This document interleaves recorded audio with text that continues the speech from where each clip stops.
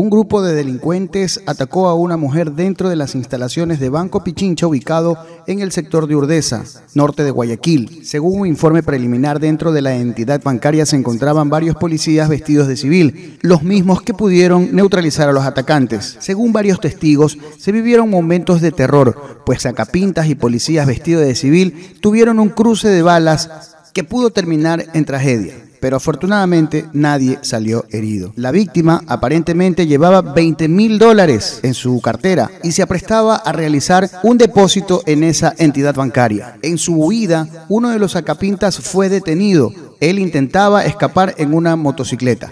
Las autoridades indicaron que el robo fue frustrado por la Policía Nacional, quien actuó de manera inmediata ante este suceso. El lugar quedó con los vidrios destrozados luego de la balacera. Las autoridades exhortan a la ciudadanía a tener mucho cuidado cuando vayan a depositar o a sacar grandes sumas de dinero en la ciudad de Guayaquil.